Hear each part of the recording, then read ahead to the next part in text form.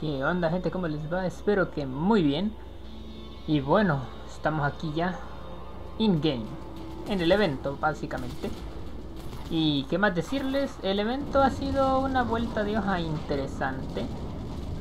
Porque las mecánicas de cómo se obtienen las cosas fueron cambiadas en esta ocasión.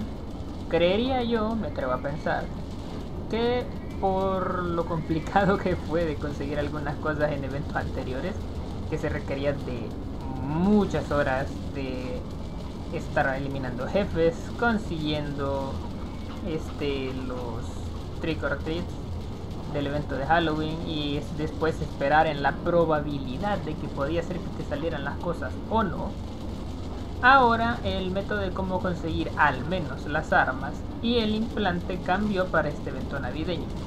Y es que ahora, si ustedes se recordarán, hay una sección que es la de pues retos o challenges en inglés, perdonen mi spanglish brutístico, pero bueno, pues nos vamos a esta sección y vamos a notar que además de los este, retos diarios que se ponen normalmente o los retos que duran un par de días, tenemos ahora los de Navidad incluidos aquí y uno de ellos es el Sugar Rush, luego otro que se llama Holiday Rifle, otro que es Holiday Pistol y luego varios que son de Golden Santa, que como su nombre bien lo indican, el Sugar Rush en este caso trata básicamente de consumir los dulces navideños que nos encontramos en los loots de Navidad, los que nos dan los jefes y los bandidos, los de las botas navideñas básicamente. Son dos, son dos busteadores, uno te da, uno de ellos te da bonificación de experiencia y el otro bonificación de daño.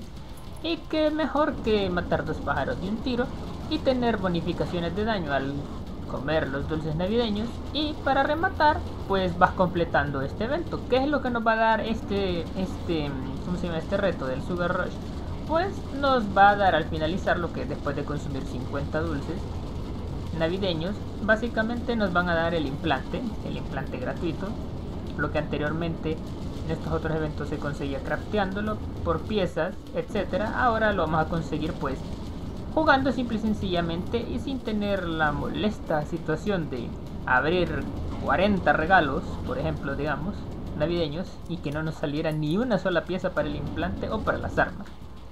Y así sucesivamente con el Holiday Rifle, pues lo mismo, eliminar 75 jefes infectados del evento navideño independientemente de cuáles sean ya les digo yo que cuando se pone el evento de nido de jefes, fácilmente si te toca un evento de nido de jefes cada dos horas, podrías completarlo, bueno, cada dos, tres ciclos de zombies, podrían completarlo, ¿qué? En el transcurso de una mañana. No, demasiado aventurado. En el transcurso de un día, más o menos, un día y medio, por ahí así. Más o menos es lo que me ha tomado a mí hacerlo. Y eso que no he tenido mucho tiempo para jugar. Claro, siempre te tienes que pegar un poco de vicio para sacarlos, para sacarle, el eliminar a los jefes, pero es mucho menos tedioso, muchísimo menos tedioso que estar abriendo los regalos y que no te salgan piezas. Y luego quizá por mucho el que va a tardarse un poquito más en conseguir es el del Holiday Pistol, que básicamente es lootear las botas navideñas que nos dropean los enemigos al matarlos, los jefes de la temporada navideña, tenemos que encontrar 100 regalos, básicamente.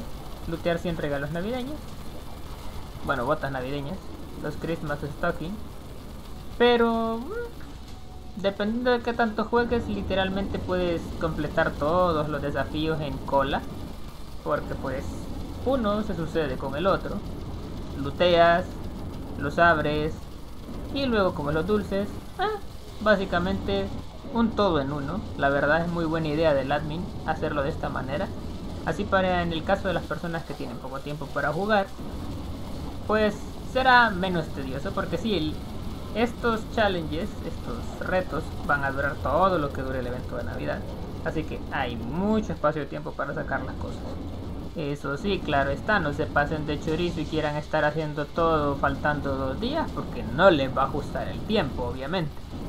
Ahora, para obtener los Golden Santa, que pues son material para crafteo igual del implante pasado de Navidad, si no mal recuerdo, sí, el implante pasado de Navidad, pues para obtenerlos simple y sencillamente tienes que jugar y nada más, porque son básicamente los retos son repetición del de las armas.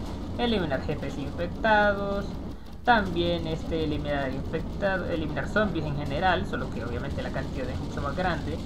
Completar misiones diarias, completar las misiones diarias de un día, por ejemplo.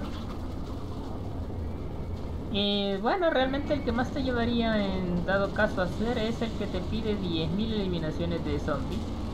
Ah, más allá, los demás prácticamente los podrías estar completando en el transcurso de 3 días.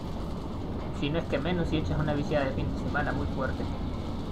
Ahora bien, ¿qué opino en general de que se haya hecho esta vez de esta forma? Pues muy bueno la verdad. Sí que es cierto de que algunos dirán que no, ya lo están poniendo demasiado fácil, que no sé qué, pero seamos sinceros, hay gente que no tiene el tiempo suficiente para jugar, hay otros que no les da para el vicio o juegan otros juegos a la par con el de Frontier y pues jugar el DEA significa sacrificar tiempo de juego en otros juegos, por ejemplo. Entonces la idea viene bien, la verdad, la implementación también.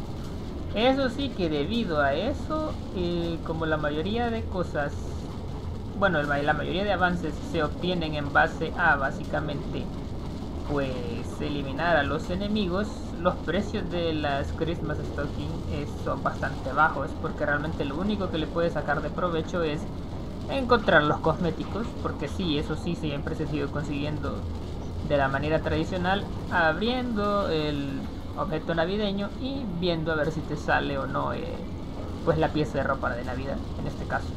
Tienen la máscara, los pantalones y la camisa, básicamente. Ah, y un ¿Cómo se llama esto?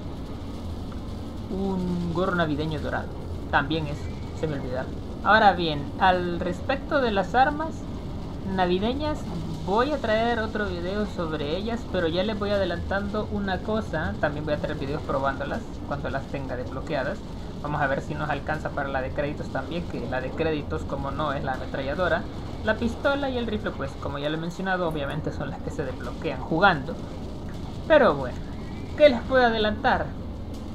Eh, la ametralladora está God en base a las estadísticas que se han visto. E igualmente en base a las estadísticas que se han visto, la pistola es más o menos, ya que las tres armas, ojo, tienen ralentización, pero actúan de manera diferente, o sea, tienen tiempos de duración diferente, también porcentajes de ralentización distintos. Pero hasta el momento base estadísticas creo que la que está peorcita es el rifle. Habrá que probarlo igualmente bajo situaciones realistas y teniendo en cuenta, digamos hipotéticamente, que no tuvieses ninguna otra arma más que lo que vas a craftear de Navidad, pues habría que valorarlo, pero en base a todo eso, el rifle creo que es el que va más pocho de todos. La pistola es intermedio y pues la ametralladora es God, por lo visto. Pero como les digo, todo eso se verá en detalle en el video de las armas y cuando las esté probando, obviamente. Así que nada, eso sería todo por el video de ahora y pues a disfrutar del evento de Navidad.